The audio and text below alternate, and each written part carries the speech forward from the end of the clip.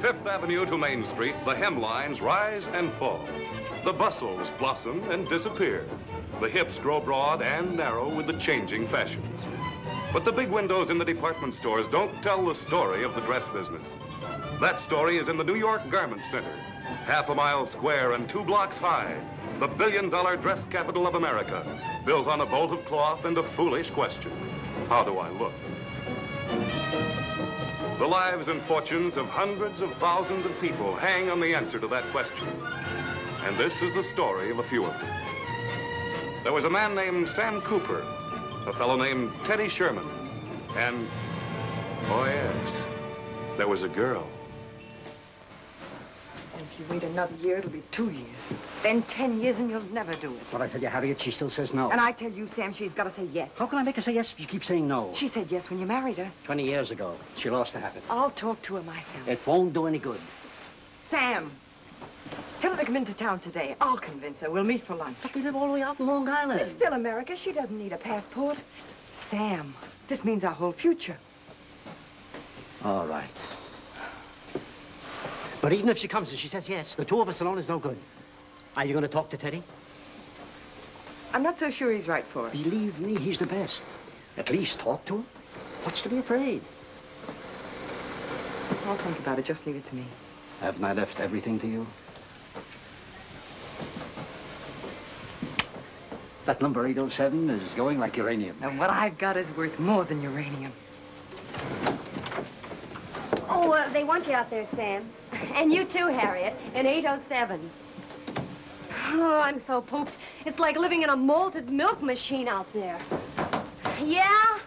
The smorgasbord has arrived, mesdames. We'll submerge and enter. I don't wish to be blinded by your radiant beauty. Who's indecent? I am. Okay, I'm not equipped with radar, so brief me. Where do I go? About face and square. Hey, wait a minute. Is Miss Boyd present? Miss Boyd is present. I have a communication. Teddy Sherman, our ace salesman, is back from his triumphant march through Georgia. He sends you his love. Tell him I refuse delivery. What's he doing? Boasting, what else? He sold a billion dollars worth of dresses. The owners of this sweatshop are on their knees kissing his shoes. But why bother with him when I got two passes to the Roxy? Wait till you cut your second teeth. That's a date, Miss Boyd. In the meantime, Mrs. Pulvermacher, Kelly, and Bettini request your presence at once. The buyers are waiting in the main torture chamber. Oh, Harriet, look out for number one. A material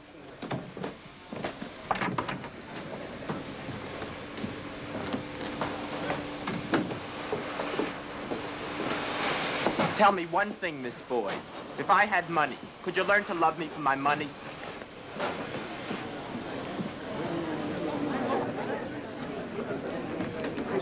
Number 807, 1095.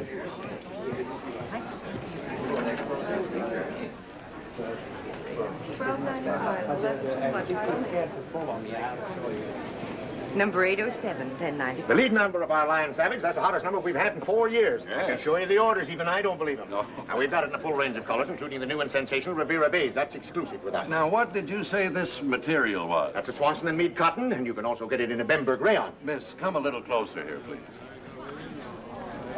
Oh, yes, very good. Yeah, that's a nice number. Say, miss, I think I've seen you here before. Yes, you're the young lady who says she goes to night school. Or did you say you have a sick mother? I've said both, Mr. Savage. Harriet, where's Fran? What's happened to her? She's changing, Mr. Pulvermacher. Ida, tell Fran to hurry. And you, Harriet, uh, Teddy wants to show 807. And Ida, if you see Four Eyes, tell him it's time for my milk. Hello, Miss Pearson. When'd you get to town?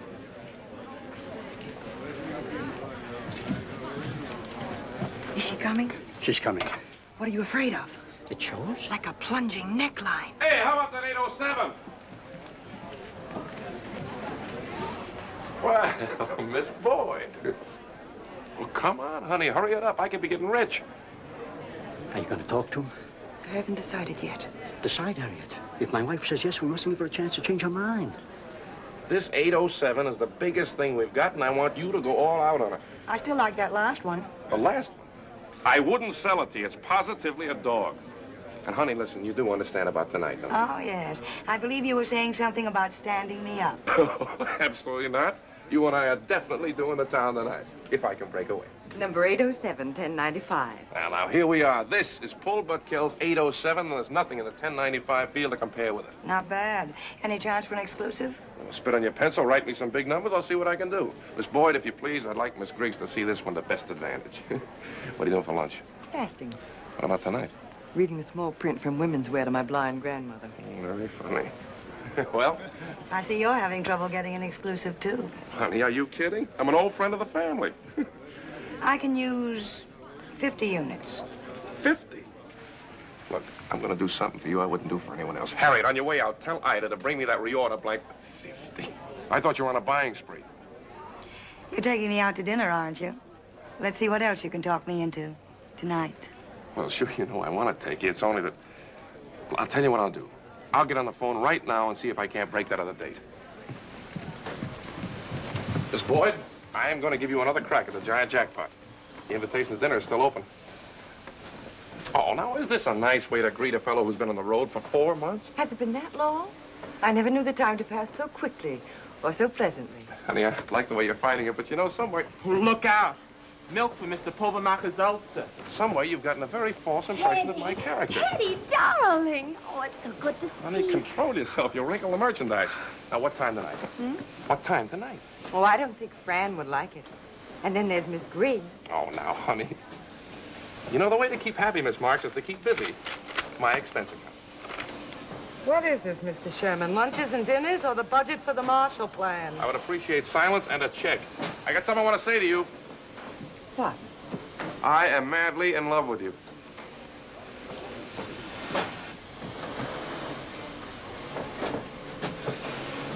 What's the most expensive restaurant they'll let you into? When? Tonight. Boy, At your service. I want my check cashed before the banks close. And to think that for six months, she wouldn't even say hello to me in front of witnesses. Right. You know, you got to purge your mind of old-fashioned ideas. Forget these traveling salesman jokes. See the real Teddy Sherman. Who's that? A man of integrity, quiet charm, and eternal faithfulness. Familiar with the arts and the sciences. A philanthropist and a sportsman. In short, everything you're not. Hmm, yeah, but everything I'd like to be. All I need is a girl like you to hold my hand and guide me. Is this a proposal of marriage? Who knows? In the meantime, just hold my hand. Let's go.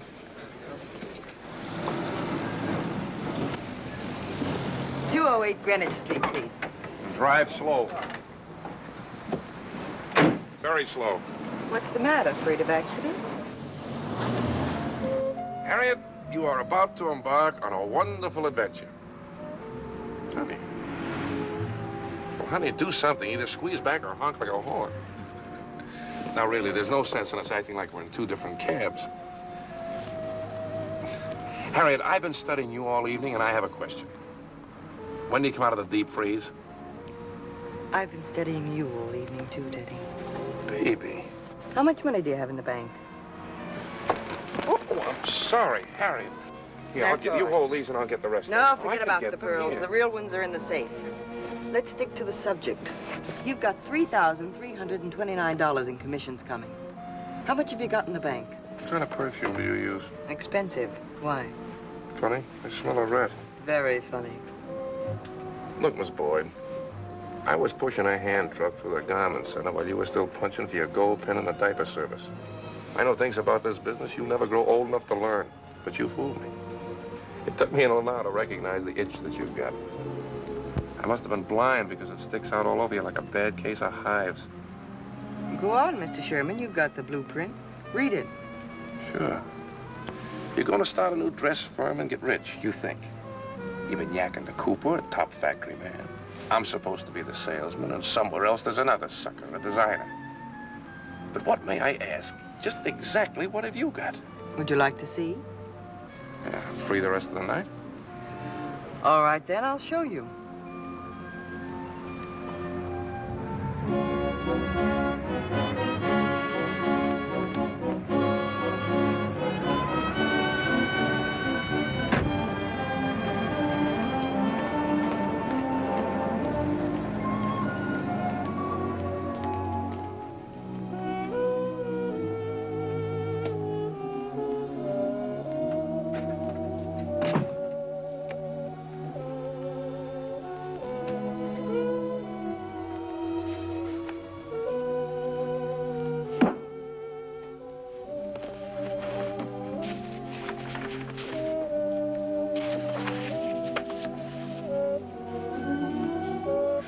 That's our 807. That's right.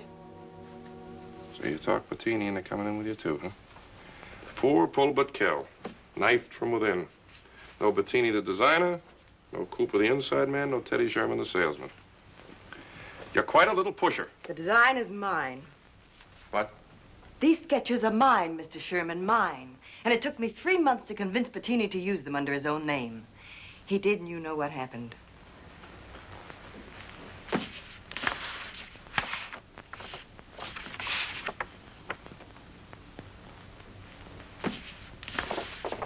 You? Me. You didn't by any chance happen to steal these sketches from Bettini, did you? I don't steal from paupers. Ask Cooper, he knows. Convinced? Suppose I am. Suppose you are a designer. Suppose you're even a good one. Why, you go out into that jungle, they'll cut you up into little pieces. Do you think you know this business? Yes, I think I know this business. I know plenty, and I've learned it the hard way. I've worked days and studied nights. Modeled those Seventh Avenue dogs while cheap salesmen and buyers from the West clawed all over me. I've been pinched, patted, and kissed. Fought my way out of cabs, bars, and hotel rooms, but I've learned this business. It took a strong stomach, but I've learned it. And now I've got the best inside man there is. I'm the best designer, and Pulbetkel says you're the best salesman. Tell me, Miss Boyd, what are you dreaming about nights? Cadillacs and a duplex on Park Avenue? That's just what I dream about, all the time. And so now with my job, time, and money, you want to take a gamble on a racket that beats two, 300 established firms a year? I thought I had brass, Miss Boyd. I am not in your league. Exactly what I told Cooper. You're not in our league. Teddy Sherman, I said, they mint that type like pennies and billions. The all-American slob. You've spent 10 years in this business selling other people's stuff, and there you stand. Teddy Sherman, with 36 suits in the closet, each with a penny in the pocket, all adding up to 36 cents. Come around for a job someday when you're broke. Wait a minute. I've got something for you. That's for the cab. The analysis was for free. You can forget about the necklace. You don't owe me a thing. Good night. Miss Boyd, you have the simple and astonishing beauty of an old-fashioned straight razor. How much have you got? Enough? Throw away the pipe. How much in cash? Cooper has 10,000. I can raise 7,500. How about you? The same. Interested? Lay around in dollar bills and we'll talk. That's a deal.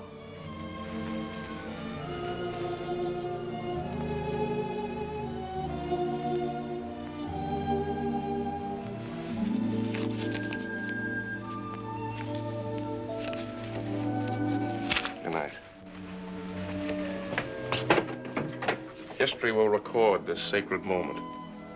Here lies Teddy Sherman. She offered him an apple. He lost his head.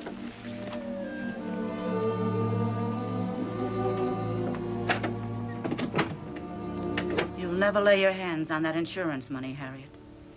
Your father left it to me. It's for Marge when she gets married. And what about me? I'm a daughter, too. But you don't need it the way Marge does. You got the looks and the talent and the ability to make money. It takes money to make money. That kind you'll either marry or steal. Ma, that money's no good. It'll buy Marge four rooms of cheap furniture, a washing machine, and a middle-aged spread, if she ever gets married. And what about you? When your father died, I gave up hoping for myself. Once I hoped for you. But you're a throwback to an Irish bandit in the hills of Killarney. I want to see Marge married to Ray. I want them to start without worry. And what'll you do? Live a week with her and a week with me? A woman without money, without independence, without pride? Taking crumbs off some son-in-law's table? Is that what you want? Ma, with that $5,000, I can make you independent. We'll have plenty left over for Marge. Then she, she won't have to marry some poor schnook like Ray, who'll spend the rest of his life almost winning cases in the court of small claims. With money, she'll be able to marry any man she wants. A nice outlook on life. It's the outlook men taught me. Then some man will teach you what's wrong. The answer's no.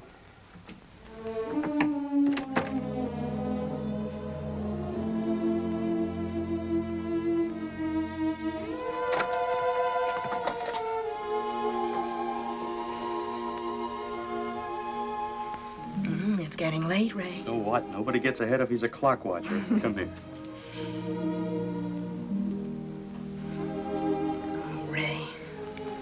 Say, how about asking me in for some coffee? But we just had coffee. Well, we don't have to drink it.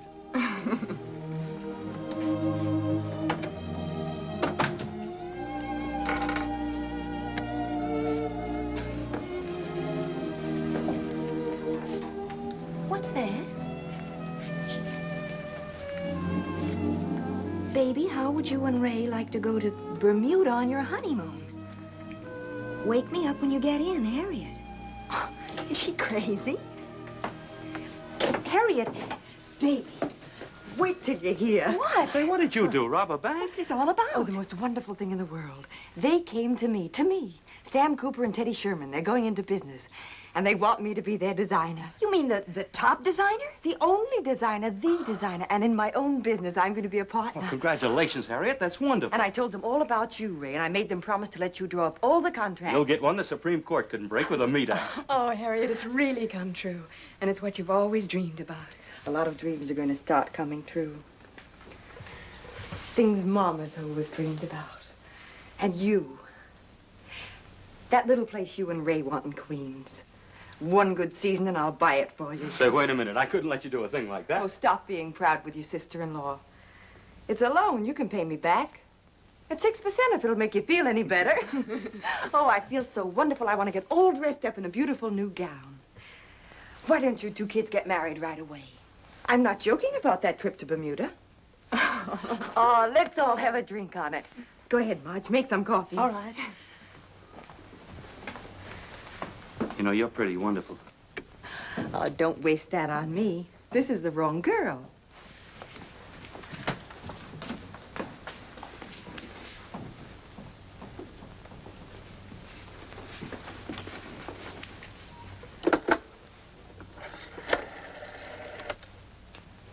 Operator, I think my phone is out of order. Will you ring me, please?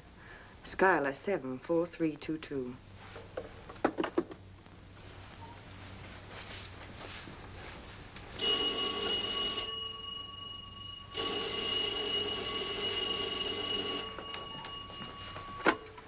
Hello?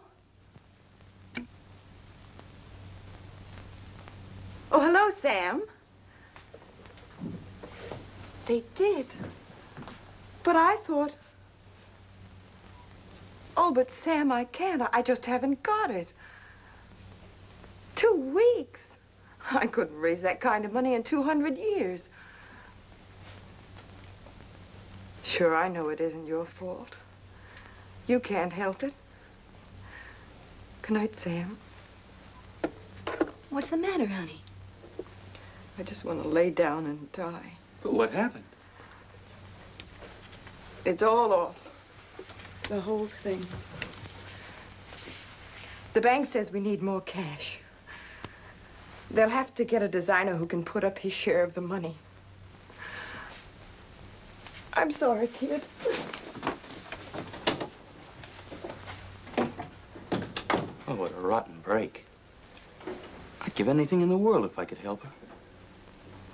Me with less than 400 bucks in the bank.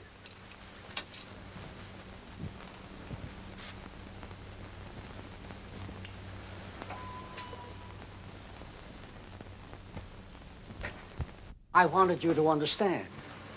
I just wanted you all to know how bad I feel about this. You only think you feel bad now. For over 30 years I've been on this street. Every minute, every day, I learned the same lesson. Don't go into business for yourself. And you, Teddy, you sleep well at night? Me? Hmm. Like a dummy in a sleep shop window. Tomorrow you won't. Right, Herman? For over 13 years, I haven't had a good night's sleep. Only when I worked for somebody else. That's the only time I slept. Tell him. Maybe for Teddy is all right. A young man needs a bankruptcy. It helps him to mature. But you, Sam, you are a warrior. You'll lose weight. You'll get sick. In front of your eyes, Sam, from now on, spots with zeros. Mm-hmm. Haven't we treated you right? You want more money? We'll give you a raise. Do you want to take your wife to Jones Beach? I'll lend you my Buick. Take my Cadillac. Take my wife. Don't leave. But he has left. Let's call off the Cold War, gentlemen. Mr. Cooper is in business with Teddy and me. We've hired a law. Papers are drawn and signed. All we're trying to do is say goodbye. Serpent! He gave you a chance. And now you steal the best inside man, the best salesman in town. Listen, Cooper, you got a house half paid for, a daughter in business college, a son in high school, a wife with a washing machine, and you want to risk all that just to call yourself a boss, just to gamble, and end up in six months with your hat in your hand and your creditors howling like wolves for your blood. They'll take your house. Your children will go to work. Then you and your wife will be back in the factory without a penny, without a future, with nothing but bad memories. That's the garment business. For every successful business, a dozen fail. I thought about this, and I've given my word to my partners, Teddy and Harriet.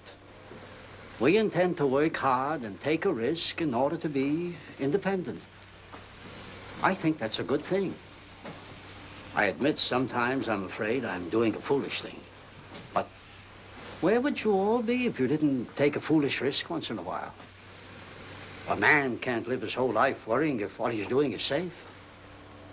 To live is to take a chance. I took a chance when I came to this country. I'm taking a chance now. But I've two friends who I trust. Well, we tried. My partners and I decided to give each of you a month's wages and good wishes. You got the bug. Good luck. Sam? Pull the Sam,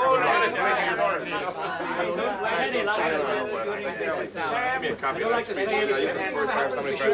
I'm only kidding. Don't hold it against the Sam, the best Okay, let's pack it up, huh? We got a million things to do. We'll see you. Okay, so long, Miss Mark. Well, goodbye. Hey, where are you going? My resignation is on your desk, Mr. Kelly. You too? I've been offered a situation as manager of the shipping and delivery department of a new dress firm that will soon dominate the field. Well, what do you expect? A counteroffer? No, gentlemen. But on behalf of the new firm, I say, move over. You is on its way. Harry, wait for me. I've been taking this elevator down for 15 years. Today, for the first time, I got a sinking feeling in my stomach.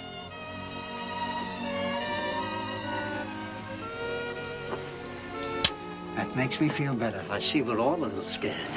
Main floor. Four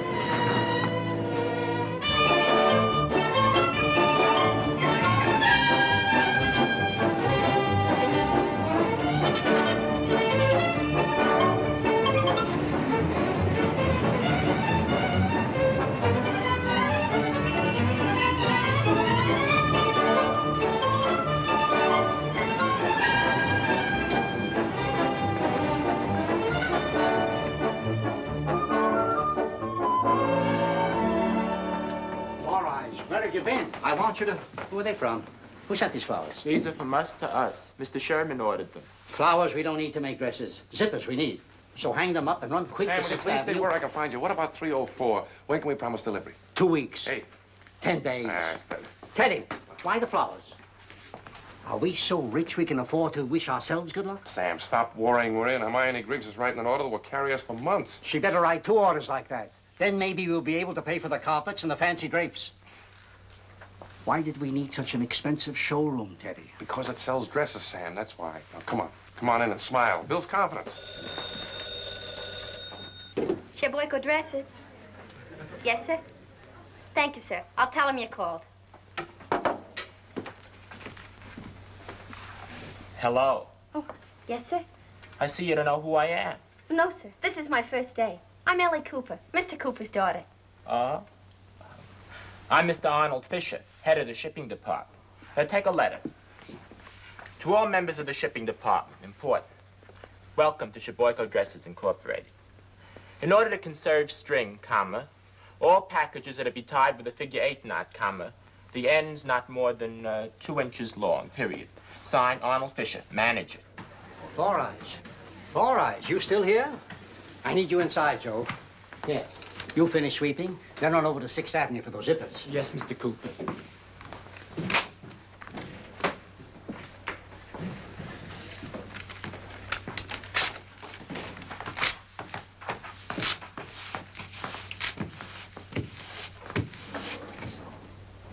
Good morning, good morning. Mr. Sherman in? Oh, yes, sir. Who shall I say Oh, is never mind, honey. You don't have to be formal with me. I'm an old friend. Yes, sir. He's in the showroom. Thank you.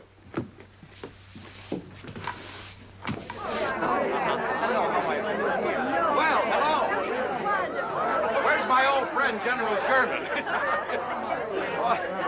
hello, Johnny. How are you? Savage. Hi, how are you? Where's Sherman? Well, he was here a moment ago. Hey, Teddy, where are you hiding? Uh-oh. It sounds as if your friend Savage is in town. Yeah, I only have to hear the sound of his voice and I get a hangover.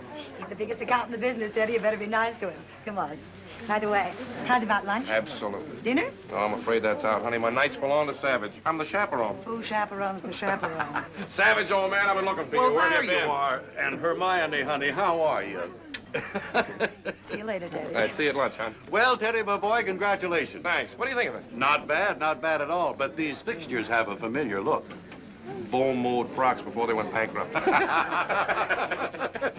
Are you good and hungry for a real great fall line? Well, Teddy, you know me. With this half, I buy dresses. With this half, I'm good and hungry. Now, how about something out of that little black book of yours for tonight? huh? You're on. Terry, come here, will you? Put these in my office, please, honey.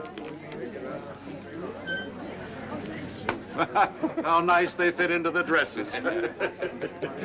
Say, that's nice, too. It's my partner. Harriet. Harriet, come here, a minute, will you, honey? It's Mr. Savage, Miss Boyd, our designer. Well, delighted, I'm sure. My, how he picks them even for partners. And how he picks them even for customers. oh.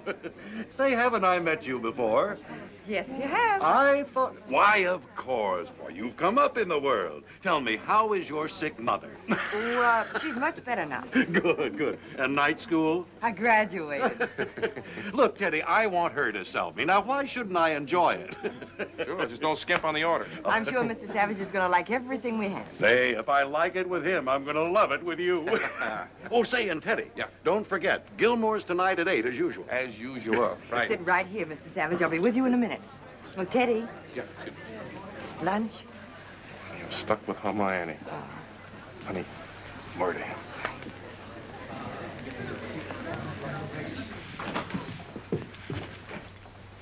All right already. So was a gag. Stinker, What I do wrong? I'm a typical American boy. you humiliated me. I was merely trying to impress the boss's daughter. Look, someday we'll get married. I'll be head of the firm. We'll educate our children in Switzerland. And in the magazines, you'll see my picture. Arnold Fisher, man of distinction. In my hand, a glass of whiskey and seltzer. You're blocking my way, Mr. Four Eyes. I'm blocking her way. She's blocking my whole future. Hi, Joe. You got it? Naturally, I got it. You asked me to get it, so I got it.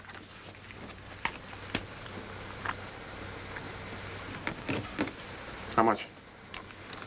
For you, wholesale, with 15% off for personal friendship. How much? 500. 350. 350. I'll take it. Could I interest you in the diamond wedding ring? No. The guy just got it back from his girl this morning. A bargain. And you're premature. This is a bargain. Don't tempt me. She's tempting me. That's plenty.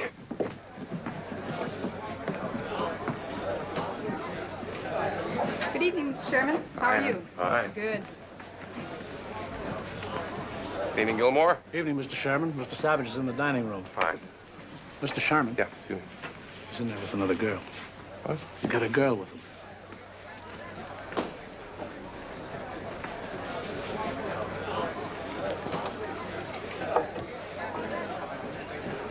Take care of him, will you, Mac? Okay, Mr. Sherman. What'll be, girls? Martini. And make it a double. I'm starved. Oh, I told him off good. you should have seen his face. Hello. Oh, hiya, Teddy. Say, you know Miss Boyd, don't you? Yeah, we met.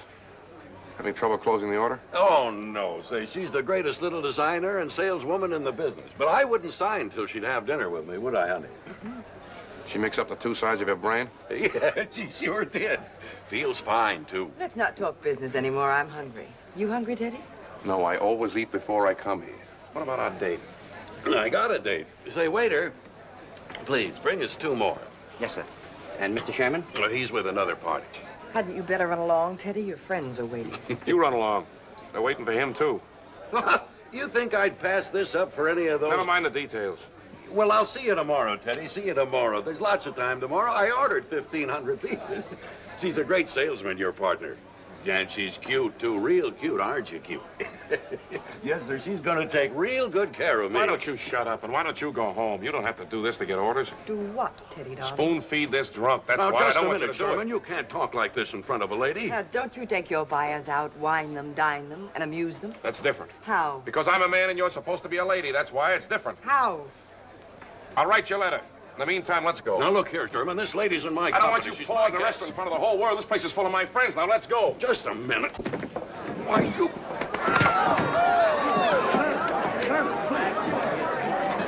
Oh, Mr. Sherman. Oh, Mr. Sherman. Oh, Mr. Sherman, your hat. Taxi? Forget it. All we lost was an order. You lost more than an order. You lost me. This just shows you how much I like you. Who asked you to show me? Taxi! I couldn't help myself. You know how I feel about you. Sure, I'm part of the Teddy Sherman circus. Do you think I got in this business with you and Cooper just for money? You've been on my mind ever since that first night we went out. And I've begun to like it. The more I like it, the less I like to see you selling yourself to a buyer like a prize that comes in a box of Cracker Jacks. You mean like yourself and those lady buyers from the Southern Circuit? What kind of talk is that? You're the kind of girl I could marry.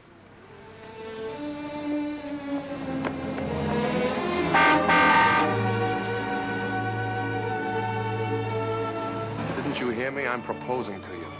What do you expect me to do, throw my arms around you? When you marry someone, it'll be to rope her off while you go on playing the field. Can't you get it through your head I love you? You love me. You mean you want to own me?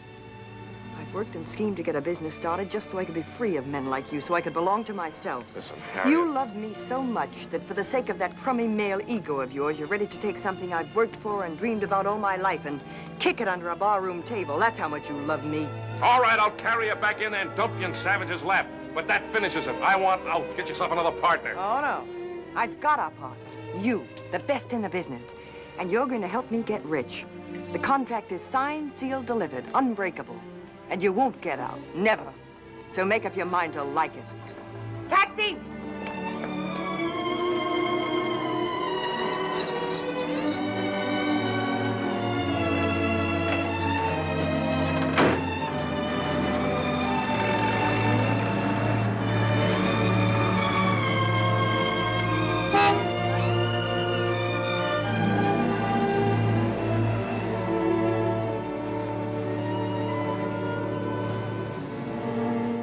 We to do now, honey? I'm hungry. Sorry. All I got is pearls.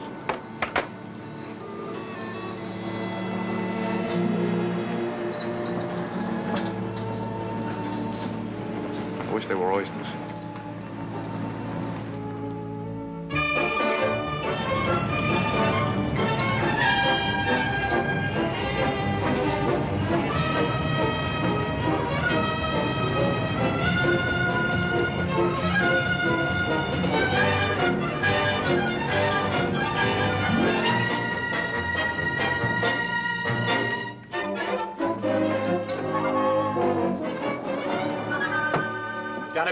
Hula dancer to get these girls through the rain without getting them wet. I suppose they do get a little wet. What does that mean in human history? In this human's history, plenty. Are you favoring the industry with your presence, my good man? Can I take it off my income tax? Naturally. It's a business deduction. Entertainment. I presume therefore you're going. It's a must. A person must be seen there to establish his position in the industry. With your position in the industry, you can stay in Brooklyn. I shall report your impertinence to the janitorial department. Ladies and gentlemen, when the committee first asked me to introduce our guest of honor, I was naturally very proud and happy. But since he is truly a man who needs no introduction, I said that I thought my remarks should be brief and to the point. Well, that didn't fool the committee. They made me show them my speech anyway. and so, briefly, but with deep pleasure and pride, I give you that great merchant prince, that man whose stores are national centers of taste and elegance, that great friend of the Garment Center, Mr. J.F. Noble.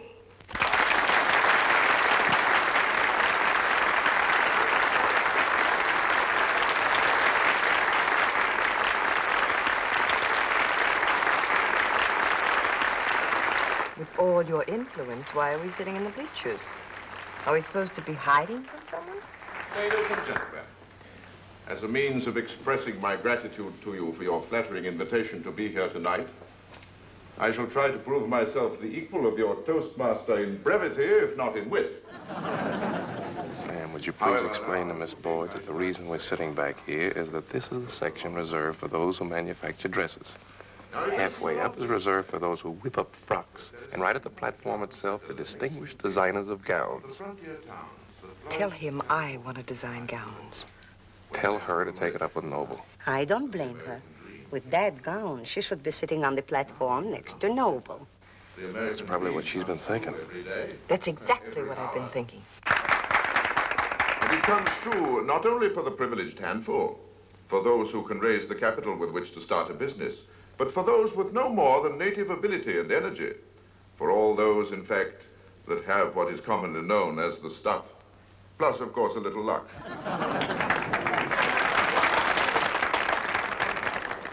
I could ask the lady with Noble to go home. You could if she talked to you. Well, she'd talk to me. As a matter of fact, she'd dance with me. What do you plan to do, go up and pinch her? That isn't done in some circles, you know. You have to be introduced. Don't go away, Miss Boyd. Excuse me.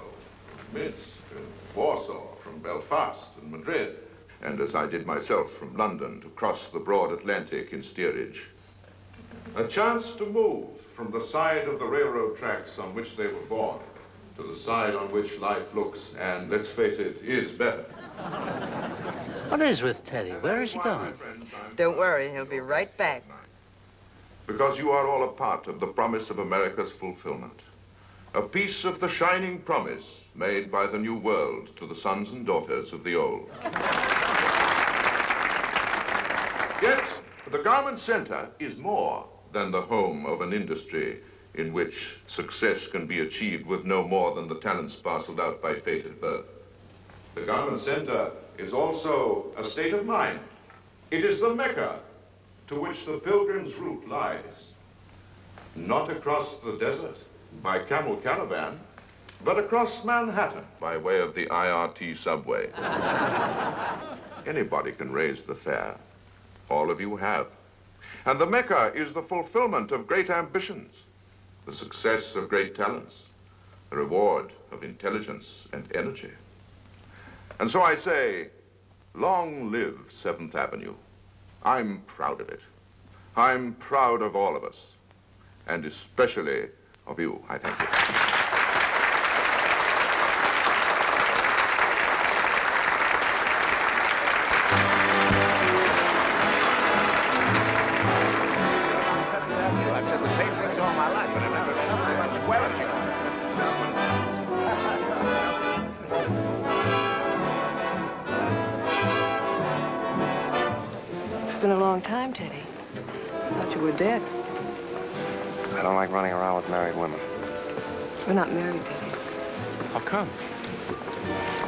Mr. Noble prefers to advance the women that uh, fall in love with him through careers, not marriage. I'm running the lingerie department of the Chicago store. You happy? Reasonably. You? Reasonably. I'm in business for myself. That, that is with two partners. One of them's an angel. The other one's a louse. Come on, let's dance over there. I want to show you off to... Hello. Hello, Mrs. Cooper. Hello. Hello, Mr. Cooper. Where did you get the money? We crashed. All it cost was twenty-two fifty for the tux. Teddy, I, I mean, Mr. Sherman got it for me wholesale. Didn't you hear Noble? All I need is talent, energy, and brains. Commodities with which I'm extravagantly endowed. Positively loaded. Come on, Ellie. Let's get on that dance floor. We gotta get our money's worth. See you later, Mama. Excuse yes, me.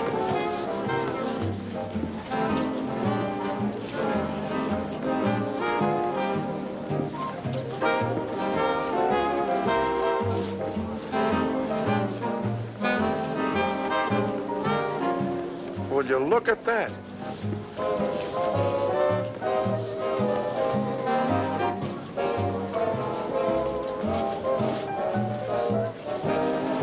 Oh, that. That doesn't bother me. I'm not jealous anymore. You don't understand. That's one of my partners. Oh, the angel. No, not the angel.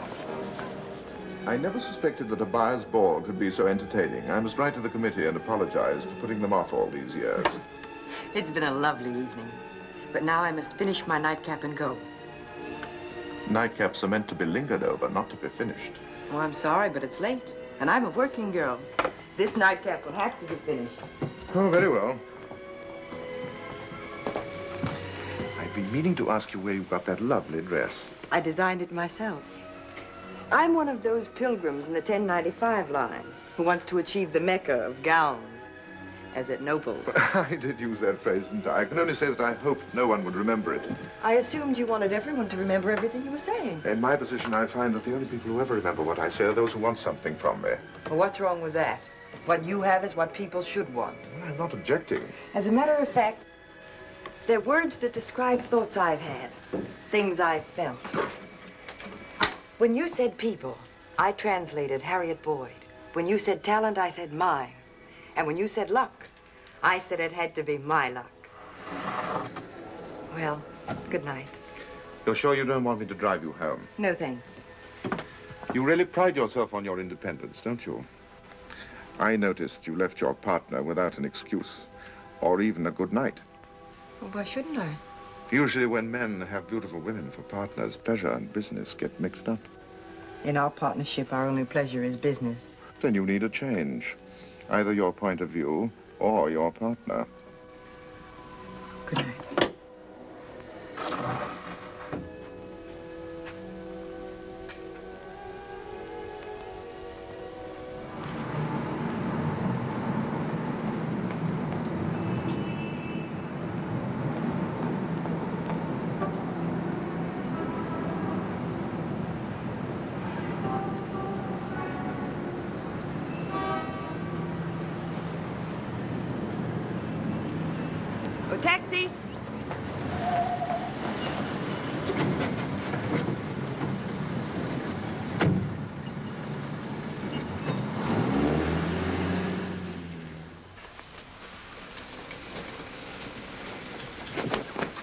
Hold that right there for me, Terry. Sure. Gee, Miss Boyd, I don't see how you think of these things. I guess maybe it's a gift, huh? Hmm, fancy. Just a little something I'm whipping up for myself, Sam. It's beautiful, Harriet. But come down from the clouds for a minute. I want to talk to you about Pongees. There's a manufacturer closing up and he'll sell for nothing. If you got a spring design for the material, it's a smart deal. Buy it. You got a design? I'll have one. Good girl. There. Now that's what I was looking for. Can you get out of that without pulling all the pins loose? Sure. What are you going to show, Renee? 712. Show it in the blue. It suits your coloring best. Yes, Miss Boyd. Gee, Mr. Sherman. Me as a member of the family. I just spoke to Sam. You're making a mistake with the Pongees. Why? An old-fashioned material and it won't sell. Make it sell. I'm against it. Settle it with Cooper. Listen, you leave those sketches alone for a minute. Harriet, listen to me. You're involved in this. You're supposed to be designing the spring line, unless, of course, it's all too dull since you got your claws in the noble. Not blood, ink. Very funny. I'm telling you, there's plenty you can do. You could drop a hint around the house. I want to be a salesman. Look, Ellie, you've got to think of me like I was a relative. On whose side? My mother's or my father's? All right, make jokes. Excuse me. You're buying or selling? Are you one of the partners here? Mr. Noble, uh, my heartfelt apologies. What can I do for you, Mr. Noble, sir? Is Miss Boyd in? Why, yes, sir. Uh, have a seat, sir. I'll call her. I'll inform her of your presence. Yeah. Mr. Noble. Well, well. The mountain has come to Muhammad. Come in, Mr. Noble.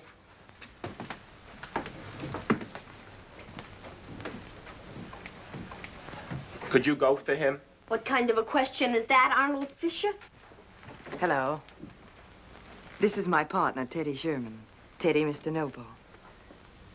Well, if we're going to be formal, Harriet, I'm Mr. Sherman, you're Miss Boyd, and our visitor's Mr. Noble. But if we're not, I'm Teddy Sherman, you're Harriet Boyd, and you're... Mr. Noble.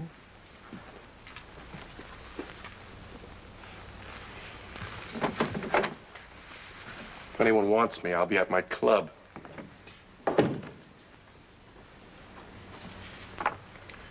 I waited for you to call, and when you didn't, I did. Is your spring line? Yes. It's very nice. Did I bore you? Oh, no. Then why didn't you press your advantage? I didn't know I had one. Well, here I am. What's this? Just doodling. Mm-hmm. Would you like to have lunch with me and go to a fashion show? I would. There's some new things in from Paris I'd like to have your comments on. You should doodle more often. Well, if I'm encouraged, I might. Don't I look encouraging?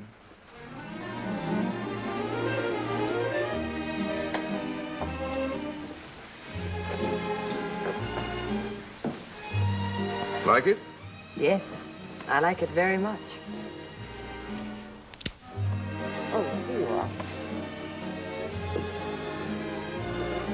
After you. Thank you. Like this one? Oh, it's lovely, but it's impractical. The only place a woman could wear a gown like this would be in a perfume ad. Lorene, Good afternoon, Mr. Noble. uh, what is the reaction on this one? Oh, the men like it, but the women know you can't sit down in it. Now, what about this? I'd lower the neckline a bit to make it more formal. Mm-hmm. And this? Oh, I thought it had a certain flair. What it wouldn't have on a hanger, the model brought her flair with her. Do you believe in hunches? No. Well, I do. I have a hunch that you and I should have a serious talk. And tonight. Oh, I believe in that. Well, are we about ready for the unveiling? In a minute. I've switched a few of your ideas around. I hope you don't mind. I expect them to be switched around. I also expect them to be improved. About that, we'll know in a minute. There. That does it. You're a fabulous girl. You're not in the least bit nervous, are you? Nervous? Why should I be? Your work is about to be judged by, if you will forgive me, J.F. Noble. Now, don't you care whether I like it or not? I care very much. Then you're sure that I'm going to. No. I'm just sure it's good.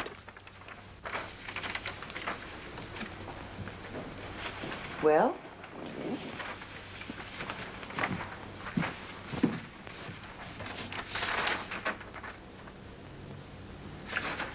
It has everything I expected it to have, but it's incomplete. Here's how I'd like to see it finished. Harriet of Nobles. Harriet of Nobles. Like the way it sounds? Oh, yes. Yes, I like it very much. Do you mind if I speak frankly? You're going to say something disagreeable? Naturally. I'm going to say that if you think I'm interested in you personally as a woman, you're wrong. But I know what you need and what you want. You have ambition and talent, and I can help you fulfill them. With my help, you can jump from that 1095 business of yours to the top of your profession. In a few years, you can become one of the leading designers in the country. It's exactly, exactly what I want. Then take it. The offer's open. But I have two partners, a small business, and an unbreakable contract for five years. You'll find a way to break it. May I use the design? It's a present. Thank you. You know, if we're going to work together someday, you should be entirely frank with me. Oh, wasn't I? No. You are interested in me as well as my talent. I suppose I am. Why did you deny it? Because it might complicate things for Harriet of Nobles. I'm complicated. And I'm simple. I only know what I want. I think we both know what we want. Well, the offer is still open, Harriet. But it won't be forever.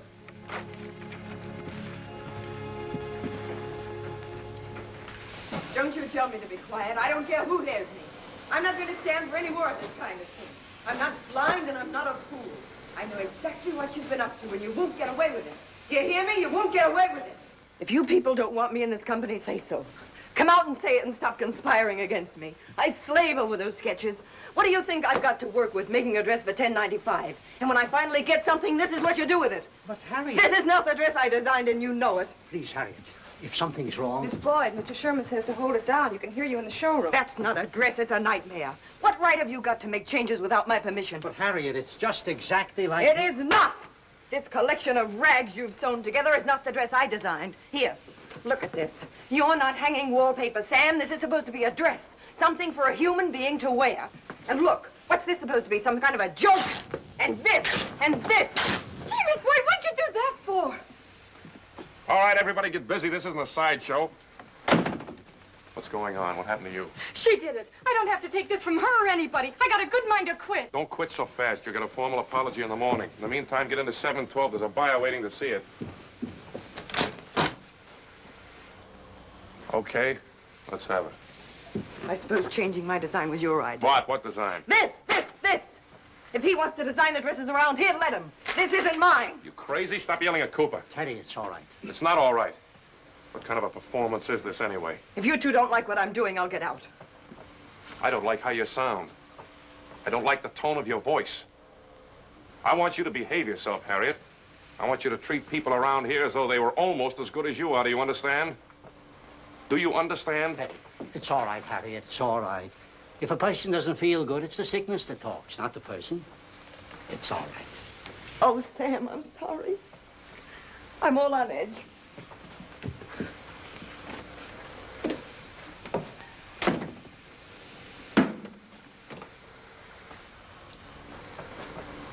Thing is, it's exactly like the sketch. But exactly. And now all day long, she sits in her office. She doesn't even go out for lunch. Every two minutes, she changes her mind. I'll have to stay and work tonight. The designs are all late. Are they any good? Sure, very good. Look. I don't know. It's a mystery to me. I walk in and bang, the house falls on me. I think I'll have to have a long talk with our friend. Yeah. Teddy, no more yelling. Please. I don't yell when I'm serious. After all, in a genius, we got to expect temperament, not good manners. She's a high-strung type, Teddy. Oversensitive. And so what are we? Elephants?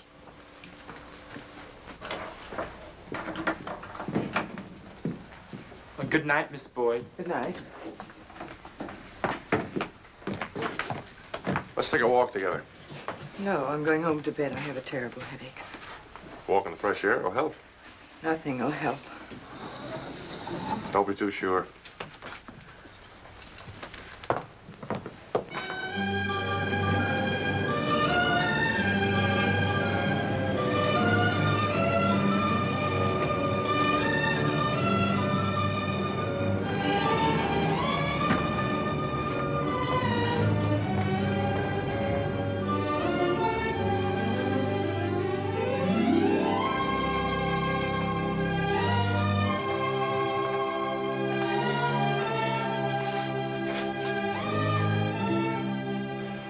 Sometimes you forget there's such a thing as fresh air in New York.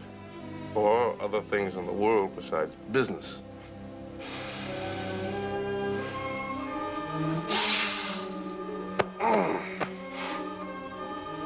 Go ahead, it's your turn. Now you breathe.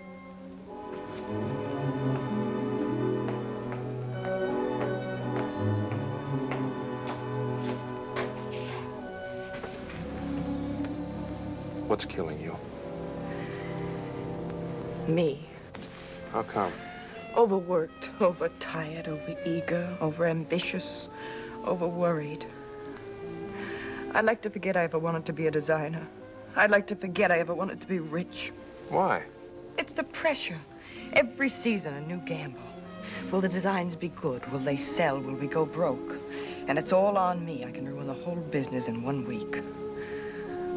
I don't sleep at night. I've hardly slept in I don't know how long. You see a doctor? We're practically married. Well, what does he say? He told me to quit. I told him I couldn't. Looks like I'll have to. I'm no use to anyone this way. That's right. I used to think my sister Marge was a dope. But she's happy. I'd like to quit, but What about you and Sam? Never mind about me and Sam. Let's talk about me and you. No, Why not? I... I don't want to. Harriet, I... Look, you stay here and breathe. I'm going home.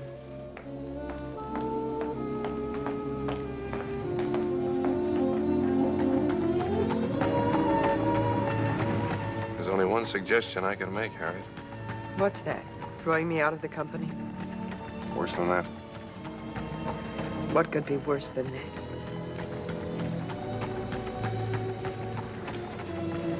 Marry me. How could you possibly want me to marry you? Sounds crazy, doesn't it? I never stop thinking about it, and don't think I haven't tried. I can't tell if what you're doing is right or wrong. And what's more, I don't care.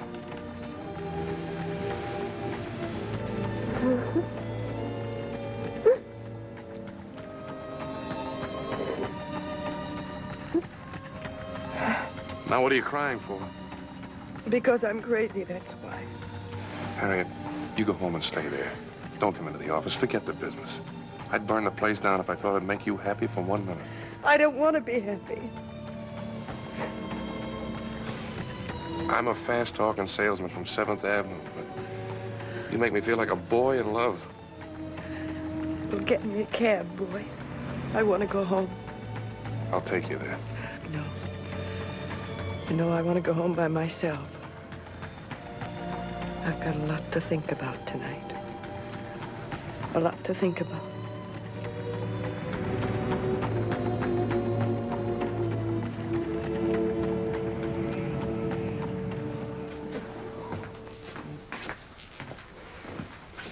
Don't wait, Joe. I'll be a little while.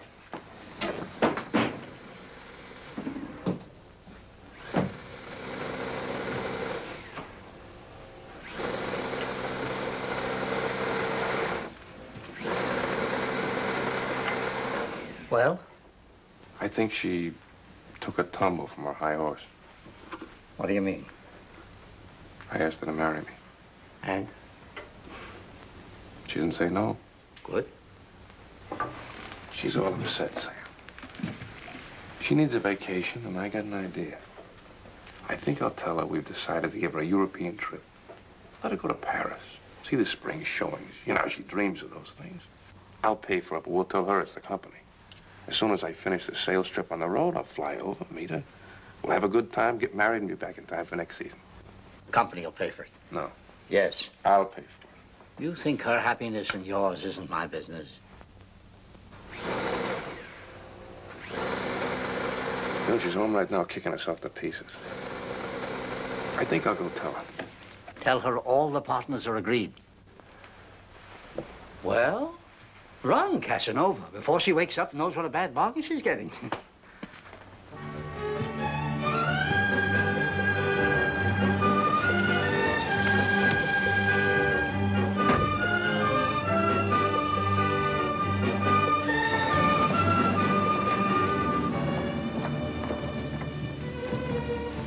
Boyd, please.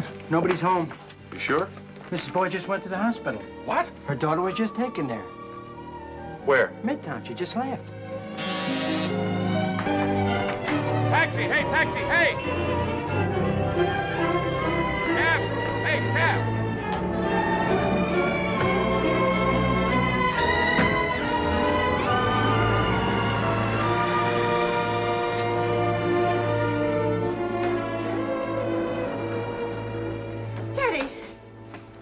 What's the oh, matter? Is it bad? Teddy, isn't it wonderful? It's a boy. What? It's a boy. What do you mean? But It was nothing. It was just like when I had Harriet. I tell you, Marge wasn't in that delivery room Marge? more than 15 minutes. You mean this is... Well, congratulations. Grandma. congratulations. Where's Harriet? Come on, Ma, we can see her now, just for a minute. Teddy, how about that? Congratulations, huh? If I had a cigar, I'd give you a cigar. Well, here, I'll give you a cigar. Is Harry there with her? Harriet, her only sister, and she couldn't even wait for the baby to be born. A dinner date, that's more important. Dinner date? With whom? With whom do you think? Skip it, Ma. Come on, Ma, let's go. No, no, don't skip it, Ma. A dinner date with whom? With Mr. Noble. What's happened to her, Teddy? I used to think that maybe you and she... Ma, were- will you come on? We only got a minute. Teddy, You, you better go in to Marge. Say hello for me.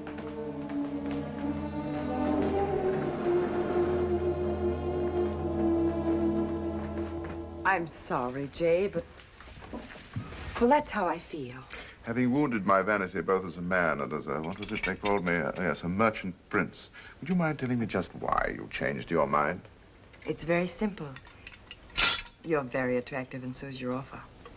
But I think in the long run I can get more out of my own business. It'll take longer, but I'll have more when it's over. Oh? I'll have myself, for instance. And let's not slight that young partner of yours. You'll have him, too, won't you? Yes. And I'll have all of him. And I thought that a little of me would be worth all of him. I thought so, too, once. But I don't think so anymore. I see. Do you mind if I keep that sketch? I gave it to you. I'm going to have it framed and hung up in my office with a motto underneath. Never underestimate the competition from 7th Avenue. Excuse me. Hello. Oh, he is? No? No, tell him to come up. We have an uninvited guest. Or was he invited? That's your partner. My partner? Yes, Mr. Sherman. He's on his way up. I must confess I'm a little puzzled. Is he coming here as an outraged lover or as a protector to deliver you from the lion's den? I should like to know what role he's playing so as to determine what part to play myself. I'm sorry, Harriet, but it would have been stupid of me not to let him come up. After all, he must know that you're here. Of course.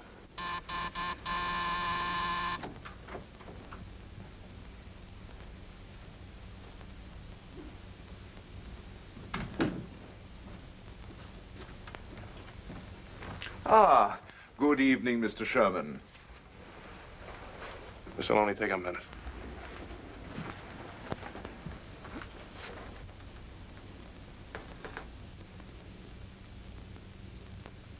I see that Dr. Noble is the cure for what ails you. Oh, well, there's plenty for everyone. Uh, may I pour you a martini? I didn't come here to join your little party, Mr. Noble. I came to take back a few things I said to my partner this afternoon. Teddy, listen to me. Listen to you. You...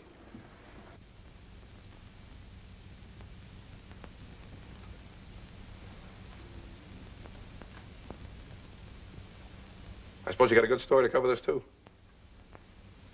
Well, you're both celebrating too soon. I want to tell you something, Mr. Noble, that Harriet once told me. She'll never get out of our deal. She's going to stick and make me rich and make our company a success. Teddy. You'll design overalls if I want you to, and you're going to like it. You lied, cheated, and double-crossed your way out of a model's room into a partnership with me and Cooper. And now you're lying, cheating, and trying to double-cross your way into something better. Well, you can stop trying. You're stuck. Well, stop screaming like a 7th Avenue salesman. I am a 7th Avenue salesman, but I'm nobody's Teddy. Not even Harriet's. Harriet of Nobles. You mean Nobles Harriet. And I won't tell Cooper about your dirty little scheme. He likes you. It might break his heart.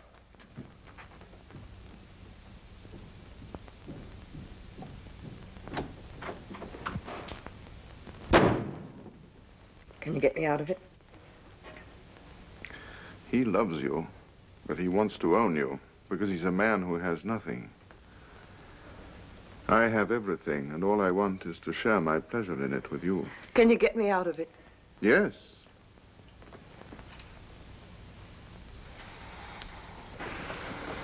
I've given Ellie a list of the dates and the places where I'll be. You can expect the first orders in a week. Take me along, Mr. Sherman. You can double the business. Don't be in such a hurry to grow up and become a failure. Be good, Ellie. If you can't be good, at least get in on time, will you?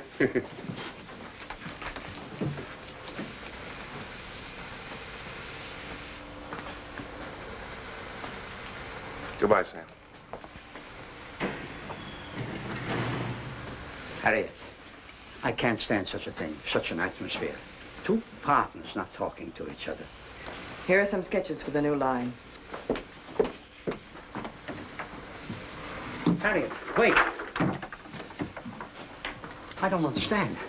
A gown for ten ninety-five and made in these materials? You're crazy. Our prices are going up, Sam.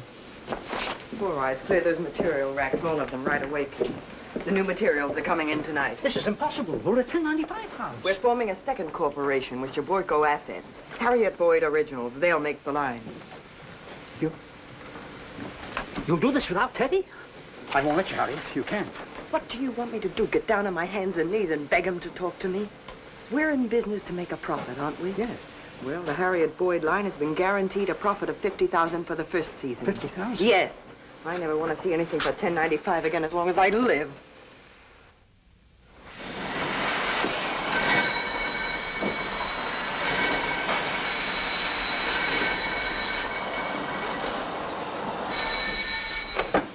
Hello? Yes. It's Dallas, Texas. Teddy.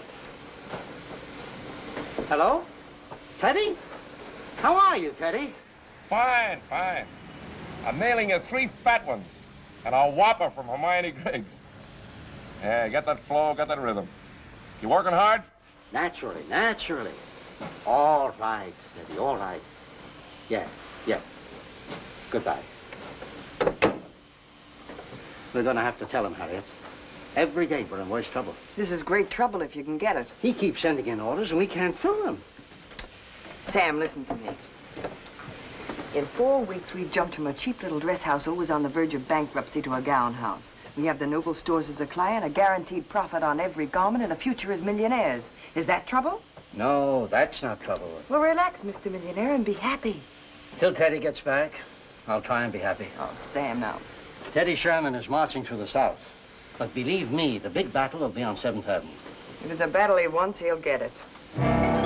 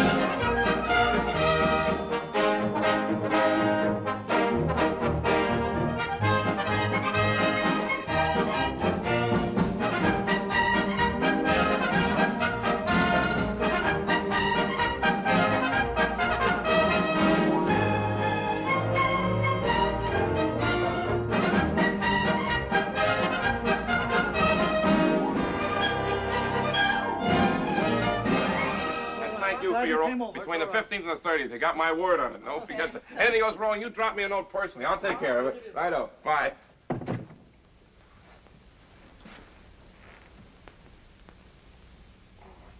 Let me see now. You are Miss Moore, right? Thank you very much, Oh, Miss you, Moore. Mr. And Miss Tate, thank you very much, you, Miss Tate. Sherman. And you are Miss Lane. Thank you very much, Miss Lane. Thank you. Oh, just a minute. I'll take those. Girls, help yourselves any of the stuff that you want. Make yourselves right at home. Thank you again. See you next year. Bye.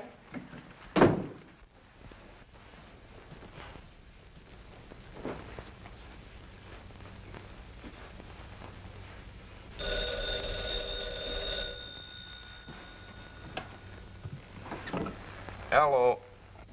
Teddy, this is Hermione. Getting enough fried chicken? Plenty. You miss me? Just pick the models out of your hair and listen, dear. I'm confused. What do you mean, honey? I mean, honey, I want to do a big promotion on that order I gave you. And when I called Cooper and asked him when I could expect my first deliveries, all I got was double talk. Now, I can't sell double talk, Teddy. I can listen to it, but I can't sell it. That's funny. Uh, maybe they're a little snowed under. Okay, lover boy, but I need the stuff or I'll have to cancel. This isn't all romance. Check. Bye now. I'll get back to you. Bye.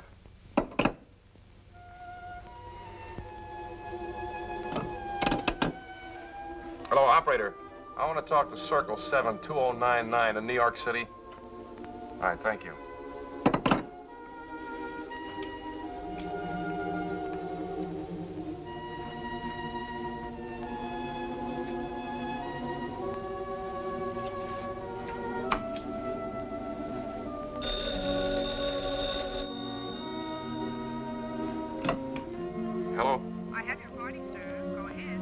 Sam? Hello, Teddy. Sam, what's with the orders? I'm getting complaints.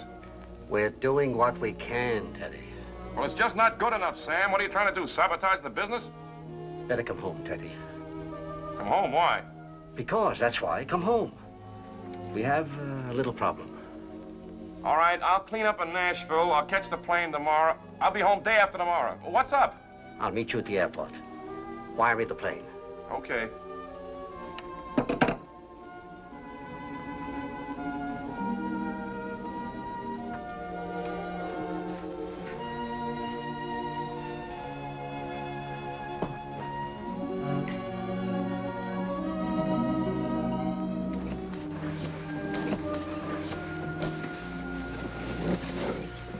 They're lovely, really lovely, Miss Boyd. Thank you very much. And when do we get started on them, Mr. Noble? We'll probably release the New York advertising in a week. Be ready to make deliveries in three. Goodbye. Goodbye, Miss Boyd.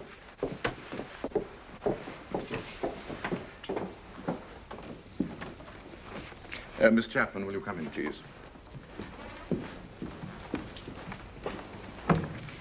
Yes, Mr. Noble? You can confirm the reservations for tomorrow night. And have Miss Boyd's baggage and mine picked up in the afternoon. Yes, And bring in the tickets right away, will you, please? certainly.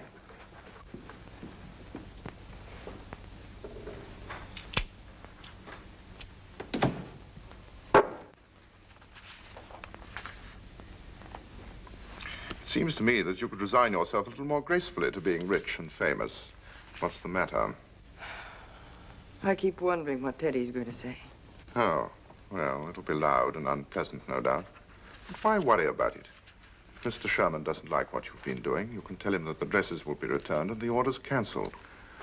That will effectively bankrupt your little company, and you'll be free next season instead of this one.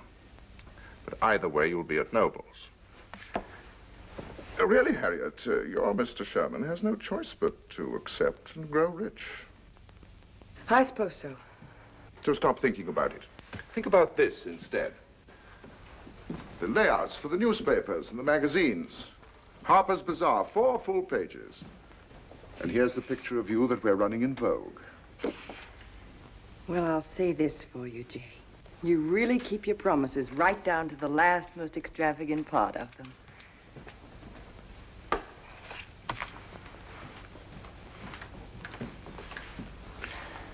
By this time next week, you'll be comfortably settled in Paris. You'll be going to Paris every season to see the fashions. You're going to be very happy, Harriet. Am I? I've mapped out the plans for your whole life. All you've got to do is to follow them. I don't always follow other people's plans, Jay. It's an old habit of mine. To get you out of that partnership of yours, I've had to do a few things that violate some old habits of mine, such as making a deal that isn't one. But I'm not complaining, so long as everything is open and above board between us. We understand one another perfectly, don't we? Yes, of course we do. I'm just a little tired. That's all. A little itchy. Well, we can skip dinner tonight if you'd rather rest. Oh, no, no, I want to go out to dinner. I can rest in Paris. Rest on the boat, my dear. No one rests in Paris.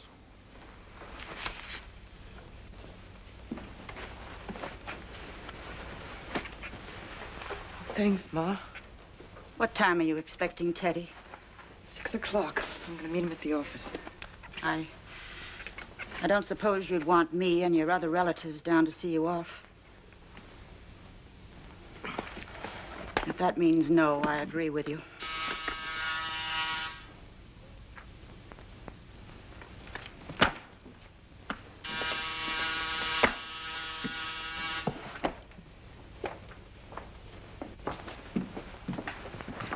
Car's right downstairs, Miss Boyd. I'll take care of this. The rest of the bags are in the bedroom. Thank you.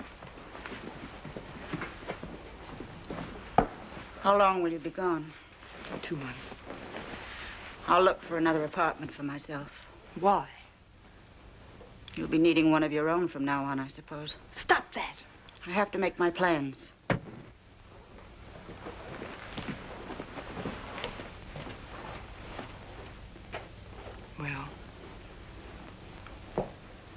Goodbye, Ma. Goodbye, Harriet.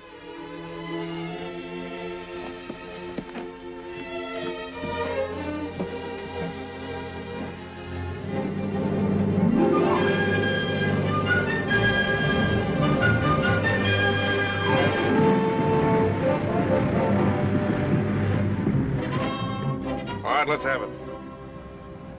Not why you look so mad, Teddy. I can't talk to you. Sam, quit stalling. Relax a little first. At least finish your cigarette. Then I'll tell you. Well, All right. Teddy, oh, Mr. Sherman. Welcome home, Mr. Sherman. How are you? Or as we say in French, bonjour. We had a revolution, Mr. Sherman. any casualties? Well, Miss Boyd's been waiting. She don't have much time. Her boat sails tonight. A boat? Where to? La Belle France. Where else? We're all in the haute monde right now. Couturier, Le Style. I'm going to night school to learn the right accent. Well, bonsoir.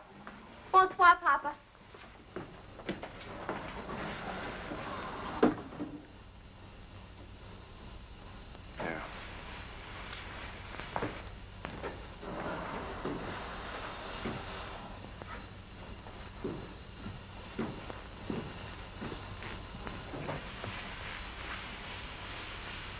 Teddy, I want to talk to you.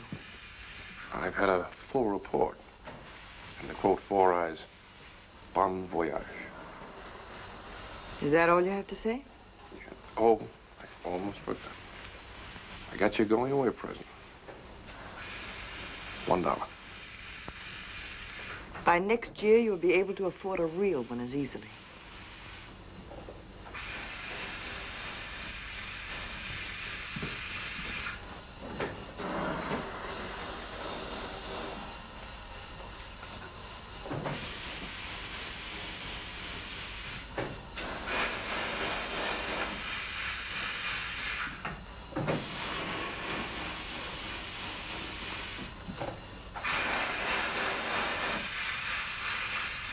I told you when we started this partnership that I'd make you rich. Well, I've delivered on my promises. I always do. Don't I, Sam? Always. If there's one thing about Harriet Boyd, she's a girl who delivers. Anywhere, anytime, any price. I don't see you turning down any of that dirty money. Look, partner, I know when I'm in a squeeze play. There's no contract on the orders. If I kick, Noble pulls the plug and our company goes down the drain bankrupt. Then you're free to go ahead with him. You get what you want anyway it's played, and I can't stop you. So I won't try. I learned that lesson the first time five guys ever jumped me in an alley. But enjoy feeling sorry for yourself. You can afford it. I got a surprise for you. We decided not to afford it. You turned this whole thing into dirt, and Sam and I don't like dirt. We don't like living in it. Yeah, that's right. You heard me. We're not delivering. We're stopping production. We're closing down. We're out on the street, broke, flat, finished. Every dime we own or ever hope to own. Get it? Broke, out of business, bankrupt. You can't. I won't let you. You're going to deliver on those orders. The money's there. It's waiting for you. Well, it'll grow old and gray waiting for us. You wrecked our little dress business, and now we're going to wreck your big gown business. We're finished because we don't like what you've done. And you can't throw us a diamond-studded bone and make us like it. Come on, Sam. Sam, he just wants to humiliate me. But you'll lose everything. Every penny you've ever saved. Your house, the work of a lifetime. You have a wife and a daughter. He's got nothing. He doesn't care. He just wants to make me feel like... Like what you are. Like what you always were. You're cheap.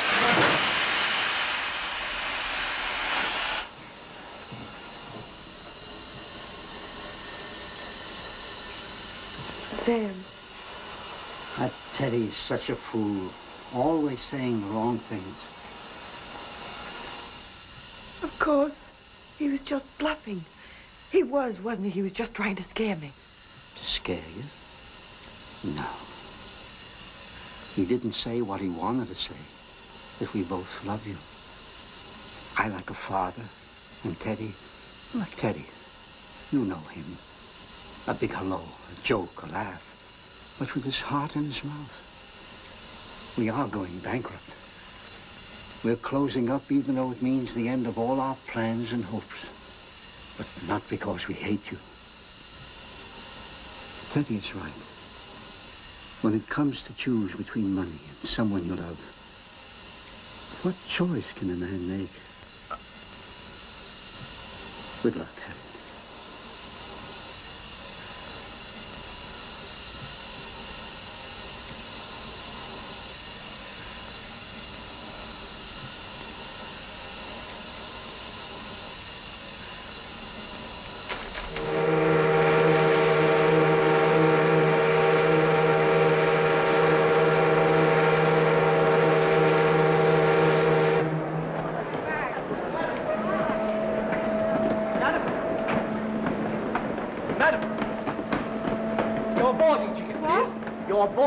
please. Oh, it's right here somewhere.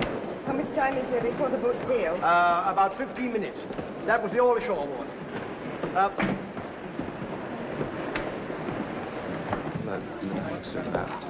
Okay, about 15 minutes. Oh, that's wonderful. Oh, suite D, eight please. Uh, the passageway directly ahead, ma'am. Thank you very much.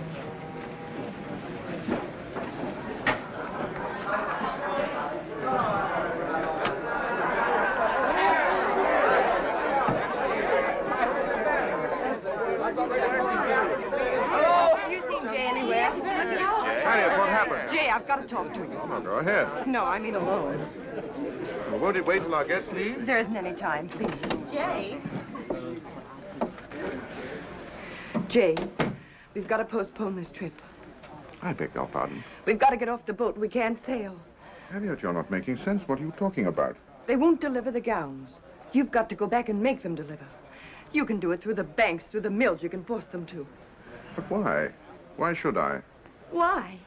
Don't you understand what I'm saying? They've deliberately decided to go bankrupt. Well, if they think they can afford the gesture, let them. I shall rejoin our guests. You mean you won't do anything? Certainly not. Jay. You've got to. I can't let them go bankrupt. Harriet, I will not make Mr. Sherman's solvency the basis of our relationship. If you can't be happy with me unless Mr. Sherman is happy too. That has nothing to do with it. We're leaving, Jay. Uh, just a minute. Quite simply, Harriet, I will not lift a finger to keep Sherboyco dresses from going down the drain.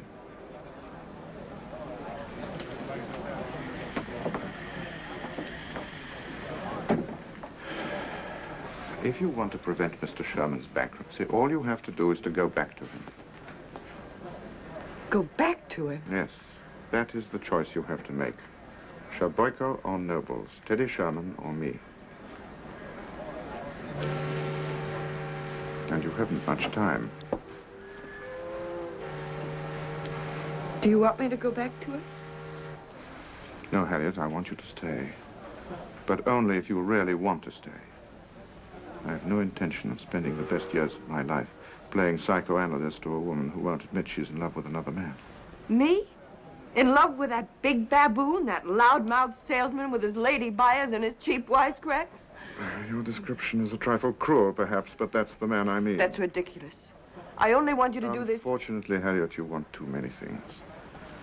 You wanted to get out of a 1095 dress house into a bright and shining career at Nobles.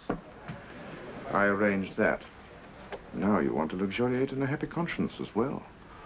That, I'm afraid, cannot be arranged. I was very happy to help you find fulfillment, but I feel under no obligation to find fulfillment for the man you love. I don't love him. So you keep saying. Of course, I can understand your reluctance to crawl back on your hands and knees. He'll probably insist on that. And we must admit with some justice. But crawling on one's hands and knees is good for the soul sometimes. Has a nice effect upon one's elevated notions. I know. I crawled once. But being a victim of great pride, I crawled too slowly and got back too late. Now, we wouldn't want that to happen to you, Harriet, would we? So if Mr. Sherman is the one you want, I suggest you start crawling. I don't want him. You're crazy. Am I? Very well, then. Let's leave Mr. Sherman to his little bankruptcy, say goodbye to our guests, and start unpacking. Last warning. All ashore that's going ashore. I'm sure you'll find your suite most attractive.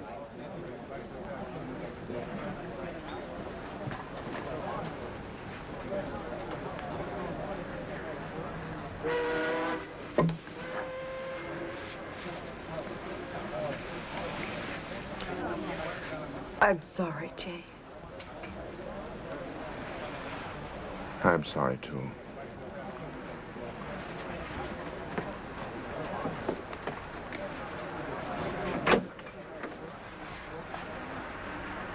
Goodbye, Jay. I'll send you a postcard from Paris.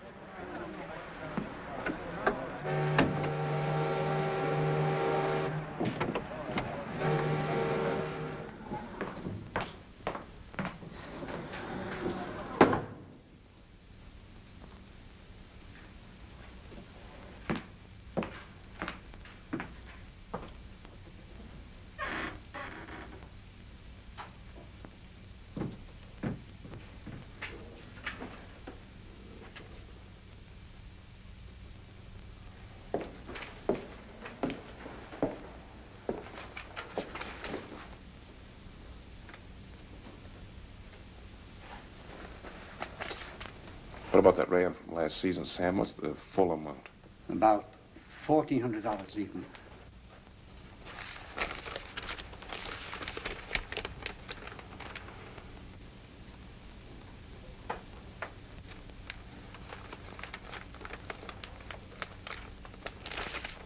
That's enough for one night, Sam. We'll start again in the morning. I'm back. Why, did Noble catch you going through his pockets and have you thrown off a boat? No, not exactly. He told me I was in love with you. That's why he wouldn't let me stay. Because I was in love with you, he said. What about you? What did you say? I said, me in love with that big baboon, that cheap salesman, that... I forget now what I said. I don't forget so easy. I haven't forgotten a thing. Teddy, wait. Listen to me. Maybe 7th Avenue is a jungle, but that doesn't mean that you have to live like a wild animal in it. Harriet found that out, so she came back. And remember, Teddy, it isn't easy to walk back in after you walk out. It's easier to stay out. And Harriet, it isn't easy to say, please come back. Besides, falling in love is always a mess. What can you expect from two strangers? Let me at least introduce you. Teddy, this is Harriet. Harriet, this is Teddy.